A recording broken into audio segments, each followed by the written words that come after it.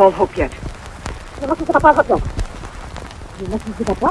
the night was foggy. Perhaps the night was foggy.